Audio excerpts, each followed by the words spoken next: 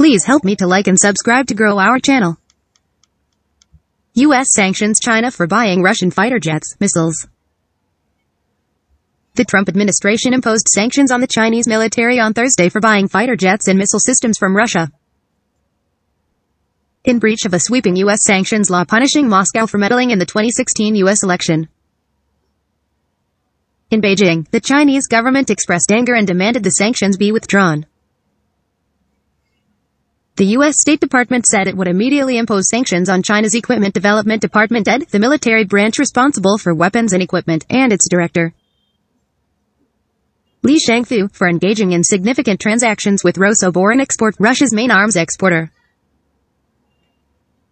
The sanctions are related to China's purchase of 10 Su-35 combat aircraft in 2017 and S-400 surface-to-air missile system-related equipment in 2018, the State Department said.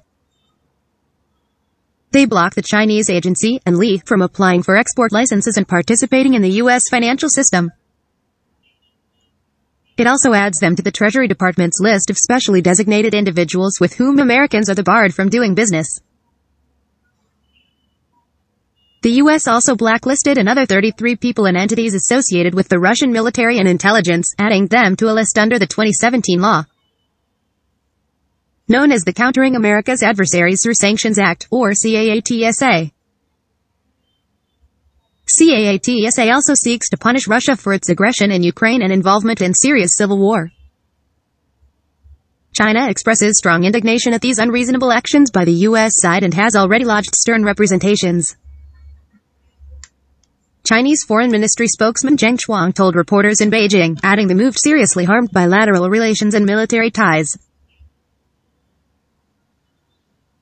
We strongly urge the U.S. side to immediately correct the mistake and rescind the so-called sanctions, otherwise the U.S. side will necessarily bear responsibility for the consequences, he said. Without giving details. China has normal military exchanges and cooperation with Russia, aimed at protecting regional peace and stability, which is not against international law or aimed at any third party, Geng added. China will continue to work with Russia to promote strategic cooperation at an even higher level, he said. Doing significant business with anyone on the U.S. blacklist can trigger sanctions like those imposed on China. Some of those added to the list, which now contains 72 names, were indicted in connection with Russian interference in the 2016 U.S. election, AAUS official said. President Donald Trump on Thursday issued an executive order intended to facilitate implementation of the sanctions. A federal special counsel is leading a criminal investigation of Russian interference in the U.S. election and any possible cooperation with Trump's presidential campaign. Trump has insisted there was no collusion with Russia. Moscow denies any effort to meddle in U.S. politics. Aimed at Moscow, or Beijing? One U.S. administration official, who briefed reporters on condition of anonymity, said the sanctions imposed on the Chinese agency were aimed at Moscow, not Beijing or its military.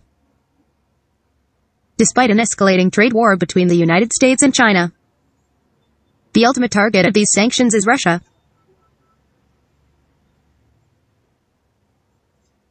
CAATSA sanctions in this context are not intended to undermine the defense capabilities of any particular country, the official told reporters on a conference call.